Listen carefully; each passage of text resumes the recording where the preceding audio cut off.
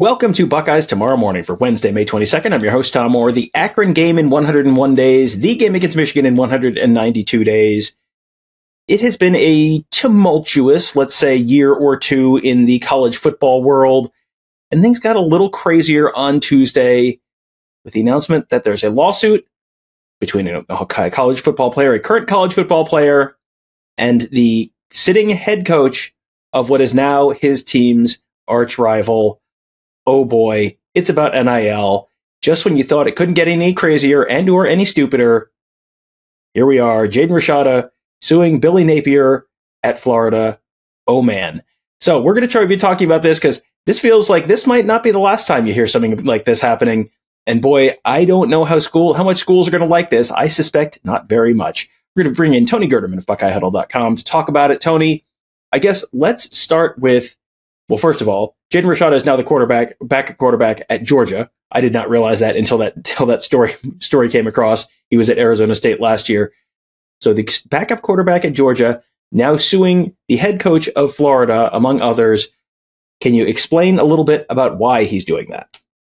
Well, and the lawsuit says that um, Florida head coach Billy Napier and uh, a Florida Gator booster and part of their collective uh, defrauded Rashada out of uh, quote millions of dollars by backing out on a promised $13.85 million agreement over the course of four years. I think that comes out to about 3.5 million per year had he stayed all four years and uh, didn't receive any of that. In fact, another part of the lawsuit is based on the fact that uh, by agreeing to this loss, uh, agreeing to this deal that never came to be, he missed out on what he said like a nine million dollar deal from Miami.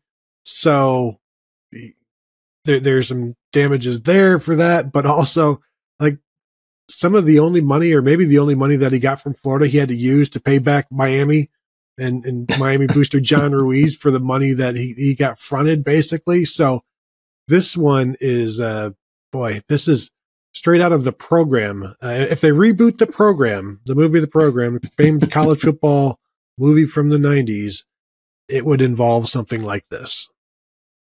Yeah, it is a pretty wild tale. And this was one of the, this is one that you sort of knew was kind of going off the rails even as it was happening. You sort of heard the, you heard the, the talk that, you know, he had gotten some enormous mo- sum of money from, uh, from Florida or had at least been promised that.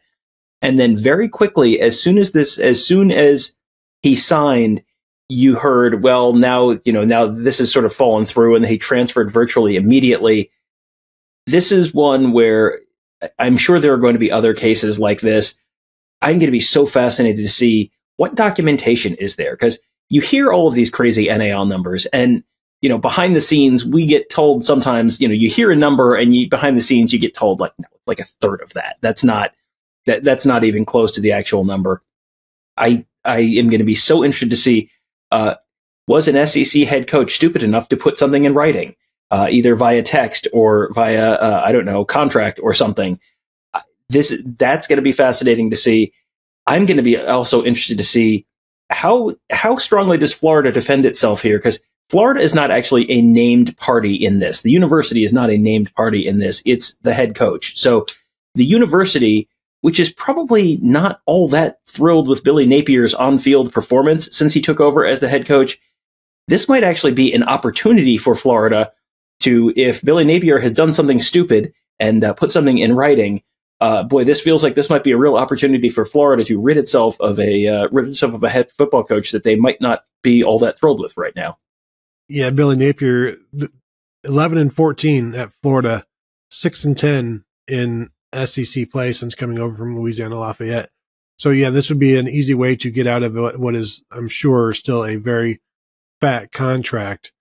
But yeah, I'm interested to see. There are some text messages coming out now, and uh, with with the attorneys that are involved, and and the fact that you have agents and attorneys trying to make these deals happen, there's going to be such a paper trail that uh, is going to really put people in a really bad light or in in a light I do wonder, can will the NCAA do anything about this? Because right now, any, any type of punishment about some NIL stuff is going to be uh, almost like instantly uh, litigated. Although, as you said, Florida might be like, uh, we're not, this is, we're not part of this. This is all on uh, Napier. So if you want to go after him, more power to you because we will help you. And, and so I'm still fascinated to find out what happens with the, the Miami aspect of this because the, the lawsuit alleges that there's a promise from Miami uh, or the collectives or John Ruiz LifeWallet, the money people at Miami of nine and a half million dollars. And John Ruiz on Tuesday came out and said, no, it was never anywhere near that amount. We offered him a, a much smaller amount. And so, um, just the, the, the correspondence that will come out of this. And the thing is, Tom, the thing I love about this is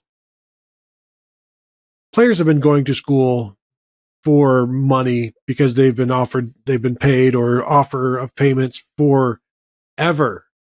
And players have been getting, uh, the, uh, the money people have been backing out on those, on, on that money forever as well. Don't tell me this is the first time this has ever happened, but you couldn't go forward anymore. It's like calling the cops to say, Hey, somebody just stole my drugs. You know, can, can I, can I get some help here? Like you can't do anything about it before.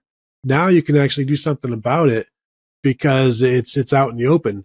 And so I, I do wonder um, how much more we'll see of this, or how much uh, you you if you are going to make promises, you better follow through on them. That's both the player and the outlets. You know, promising the money because you know, look at look at Marvin Harrison and Fanatics right now. Marvin Harrison is being sued by Fanatics. So like we're getting into a, a, a litigious college football has been uh, for the last couple years. Now you're seeing it individually as well. And if, if promises are made, promises better be kept. Yeah, and then the question is now now the players have more recourse in this kind of thing.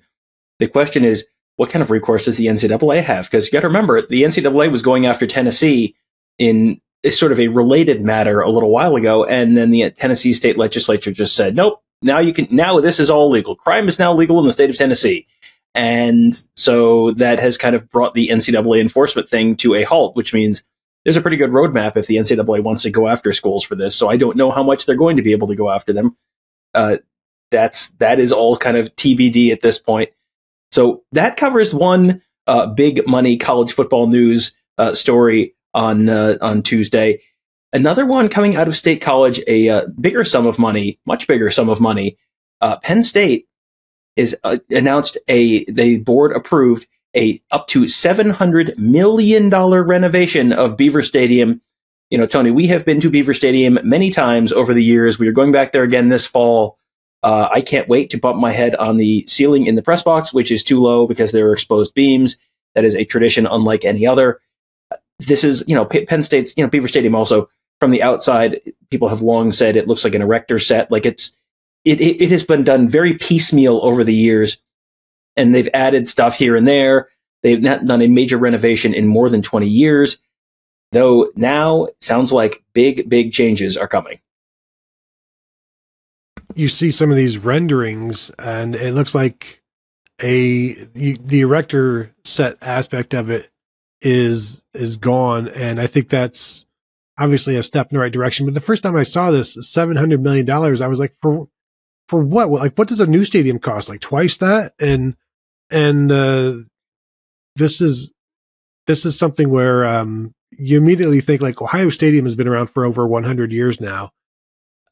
I, I, there's been no talk about, uh, anything there. And then, then to Penn State just to pop up with like $700 million or a proposed, um, this is, hey, this is all it's going to cost. And this is what it's going to be. And it's the modernization of, uh, you know, widening concourses, uh, escalators, uh, fortunately, uh, some press box amenities. And, and, and I do know that, uh, they, they, when, when we complain or when I complain about the press box to somebody at Penn State, it's like, well, we, it was just renovated recently. And I think you said 20 years. I don't know if it, if that was part of that, but it's a dangerous place. I mean, you got some, some wonky steps. You got some narrow walkways. You, you, it's like um you ever see like um like a, like a cat try to walk through a tube and turn around in that tube and it's like you know you don't really have that much room that's that's what the the food line is at in a Penn State press box where you're going through these narrow narrow walkways and you're trying to come back so it's it's a terrible venue. Now, um, th- that's just one aspect. I'm sure more, there's a reason that, that you want to do this and that people want this done. Recruiting is one small aspect of it, but, um, I do wonder, Tom, once this happens, does this start forcing other Big Ten programs to start looking at what they've got? And we know Ohio Stadium did the facade.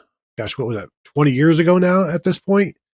Um, does this start to kick off some an, another arms race? That's I think the answer to that is uh, let's find out what happens with the House case because uh, speaking of college football litigation, there's you know there is a looming. This could be you know seven to ten million dollars a year per school in terms of uh, annual payouts that you've got to have for players that's a whole separate conversation. We've talked about it on the show before, but that's a whole separate conversation. I don't know that anyone has a tremendous degree of uh, confidence that they know exactly what their budgets are going to look like five years from now, let alone 30 years from now, or whatever the time horizon on paying off $700 million worth of debt is. That, that is a uh, that is a gutsy move to do that right now. But Northwestern, of course, is torn down Ryan Field and is building its own shiny palace. That one is supposed to be just privately funded and just you know, they, they just get their new stadium and ta-da, that's it. But yeah, this is, this is a, a, a dicey time to be looking at, at uh, big facilities changes like that. Ohio State has talked about maybe redoing the Woody Hayes Athletic Center or upgrading it or whatever, whatever that ends up being. That's another one where, boy, there's, that's a lot of money tied up there. And, uh, you know, that, that I don't know how confident they are that they know exactly where that money's coming from yet. Cause there are a lot of there's a lot of uncertainty on balance sheets these days as you're sort of trying to project things moving forward in the college sports realm. One thing, Tony, that I did think was interesting, they had even if this had not gotten through, they had a list of changes that were going to get made this year at Beaver Stadium. Anyway, one of them, winterization. Tony, I think the uh, the college football winter winter is coming, as they said on Game of Thrones, and uh, winter is coming to college football because you may have a you may be hosting college football playoff games at home, and uh, you can no longer just shut your stadium down uh, on Thanksgiving weekend.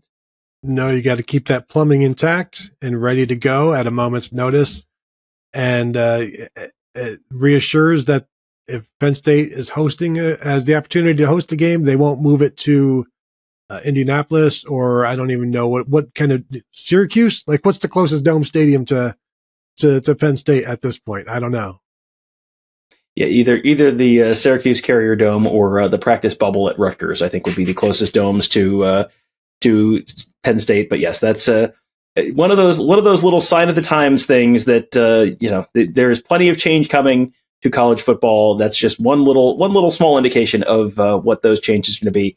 If you actually want to hear us talk about all those changes coming to college football this year, well, Tony and I just did a Buckeye Weekly episode on Tuesday drafted all of the things that are the changes coming to college football this year in terms of what are we most looking forward to to least looking forward to. You can find that show on the Buckeye Weekly podcast feed.